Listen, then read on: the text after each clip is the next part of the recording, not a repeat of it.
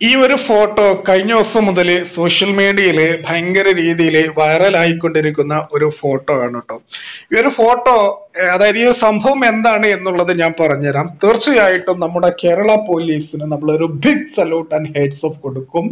കേരളത്തിലുള്ള നല്ലവരായ അണ്ടർലൈൻ ചെയ്തിട്ട് പറയുന്നു കേരളത്തിലുള്ള നല്ലവരായ എല്ലാ പോലീസുകാർക്കും ഞാൻ ഈ ഒരു വീഡിയോ തലാ ബ്ലോഗ്സ് സമർപ്പിക്കുകയാണ്. അപ്പോൾ ഈ ഒരു സംഭവം എന്താണ് എന്നുള്ളത് ഞാൻ പറഞ്ഞുതരാം. അതായത് ഇതിന്റെ കൂടെ ഒരു കുറിപ്പ് കൂടെയുണ്ട്.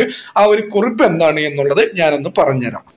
വാമിക മോൾക്കൊരാഗ്രഹം. എ ഐ ക്യാമറയുടെ കാലത്ത് ഹെൽമറ്റും ധരിച്ചുകൊണ്ട് പോലീസ് സ്റ്റേഷനിൽ പോയി പോലീസ് മാമനൊരു സല്യൂട്ട് കൊടുക്കണം.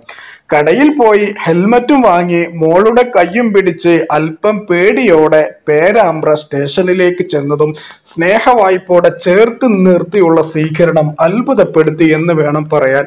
മോളുടെ ആഗ്രഹ സാഫല്യത്തിനപ്പുറം ഹൃദയം നിറഞ്ഞ ഇടപെടലിന് നന്ദി രേഖപ്പെടുത്തി ഞങ്ങൾ സ്റ്റേഷനോട് വിട പറഞ്ഞു. കേരള പോലീസിന് നന്ദി. ഒരുപാട് നന്ദി.